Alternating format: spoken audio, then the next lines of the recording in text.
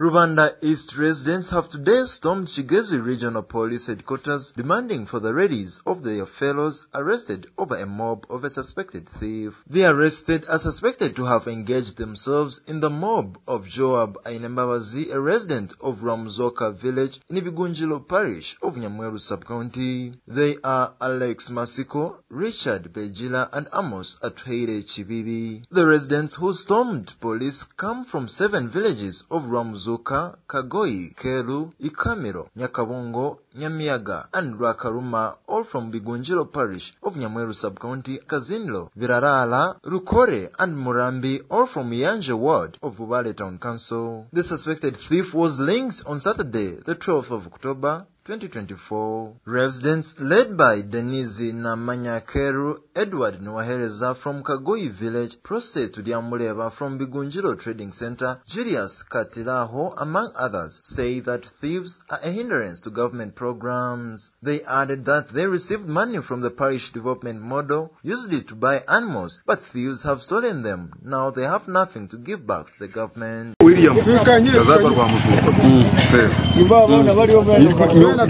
abanyarwamuzuka mbebembere umukushasha.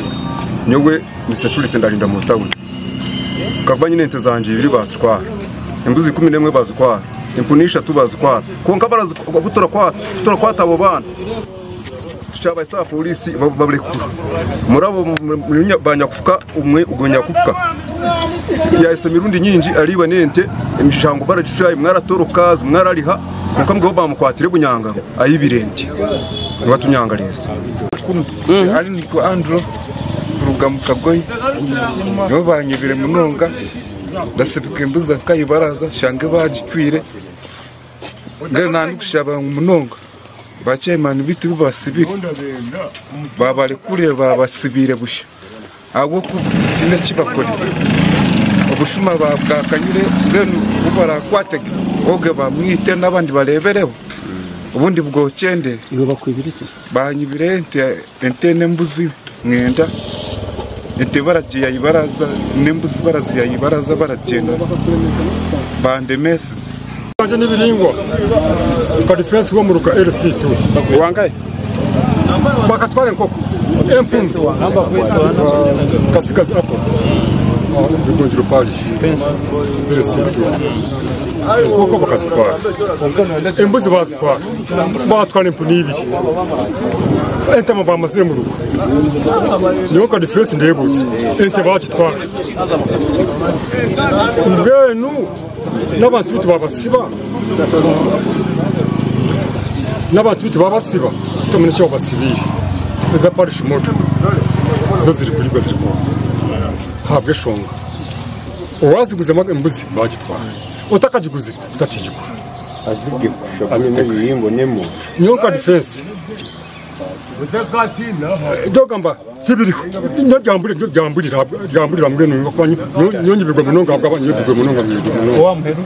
Banyeta kwatiriwe Julius abashuma baturuhize nibo bakanyiba bashwa bakinjirana inyuma n'umuntu mwene abashuma berigenda niyo narasha aba government etuyambe twa twakwasira umuntu mazima ikiturenda tukore? Abo kuba yabaturuse anje ndi kurosi tujyamure nyowe ndi gushasha munonga ahabwo kuba tukumire turombeka barashenya. Mbere nyine nkaba nyine iyo nabagishenya kwashanga mu gusha na twatumye nkoko enkoko zo nabashenye eka bazitwara twimuka kwashanga zitarimo ngeno butubire twine baratwara n'amakaramuka tubire twine membuzi munani.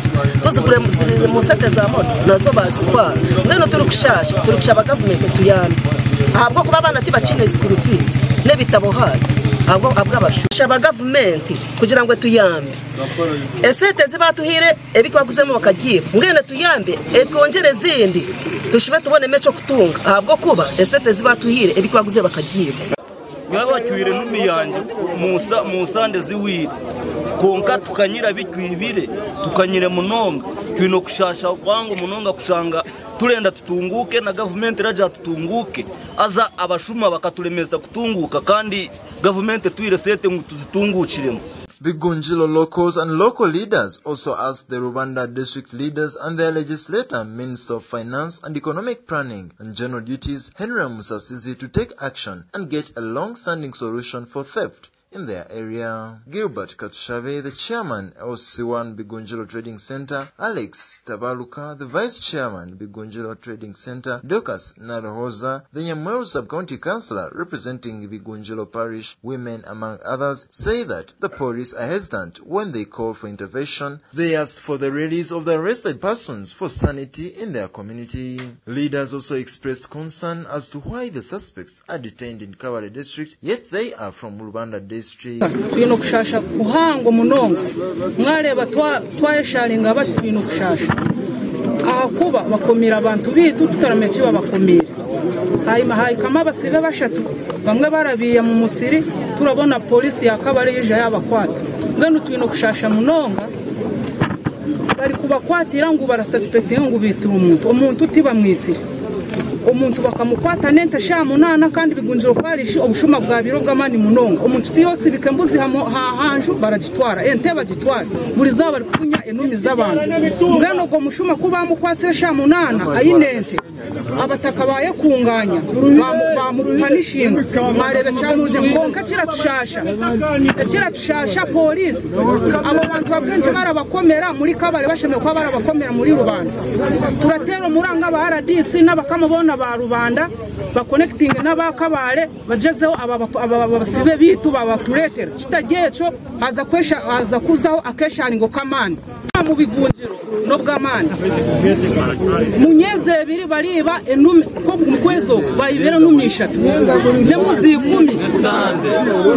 ne hariho umwami kasimba. Umwami kasimba bakafunya embuzi zeye kigombe munani twaronda embuzi zaburana hati abashuma bakanyire abaresi b'enjaga ubwo wubahirize kosa habwo bushuma abaresi b'enjaga nibo bamuzikiye. Mbwenu utwino kushasha munonga kuba muhire punishment ati ni bwo kura baragenda barapikinga umuntu baramukoma bataka tutaramenya icyo babakumwe zekinda bashaba abayiguru nka musasi yo kuraga amahurire bahati ebweri kabare bati nawe ni minister.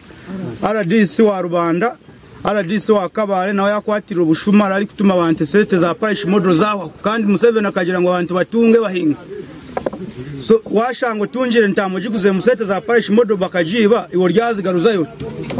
Ubwo munanga ndi guteraga abebembezi bita bahiguru hari mu RDC wa rubanda no wakakwa nibo barakurira ki?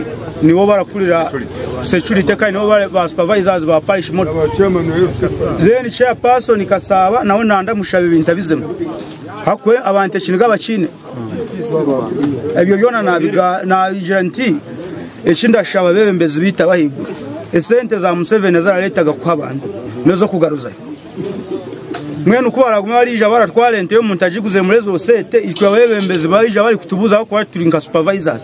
Turabagaruka muki entama bagitwara giguze mu za modo so bataza kuri bakashutama bahuro muranga nabo bagambage ngo abo bantu mumbare kuri ninga mubanze bashutamega nitwe batubuza ecurite tukagezaho nko twabire turabasa konka nyine abashima nabo uramanya nabo barabi no gwabo go barakora.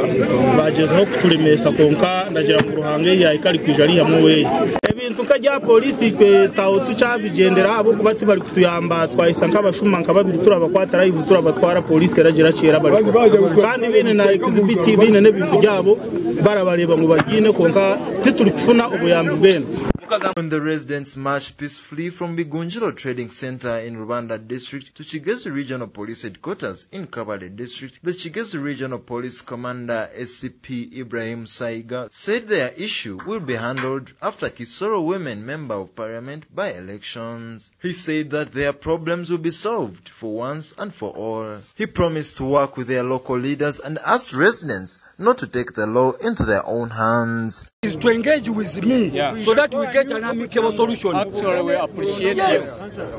And that's why I say I will come to the village and see how best we handle with a team. With RDC, LC5, LC3, LC2 councillors, and we see how we can get a solution. n'abakuru abo mwahurira Should anything happen, we shall pick individuals. I'm, I'm promising you, we shall pick individuals. I have a force that goes to the village, surround it, and pick individuals. Eh, If we want to draw lines, we can draw them. But I don't want us to reach those levels. I want us to solve problems. So don't think you are too big. muhanga Hey, you are an individual. I don't know why you are here. Yeah. Hey, don't think you are too big. Let's not take the law in our hands, but we should make sure that our you are coming here delivers or speaks uh, to us to help us secure a solution. kandi ino kwikiriza ngo kwija kwanyu hano kuraza kurunda umubazi gw'eshongeri I promise Chairperson LC3 ndaraganisa muchamani wa LC3 that I have a task that I'm performing in Kisoro of the by-elections. omuri kisoro ekwasikiye n'ubururu eyari kukuratirira Immediately I finish, Ha- aho naho yaheza kujimara. He will organize and I come there. chairman araza kuteho entebekanisa ah, omukuru ogwije I want to come on the ground. ayina ngo yikira ha butaka ha mwanya I have spoken with the RDC. yagambira na RDC I have spoken with the chairperson LC5. yagambira na chairman of C5 I have also spoken with the, uh, the minister. kandi yagambira na minister And my promise is that I must go on the ground. Memory Aguma for iTelevision.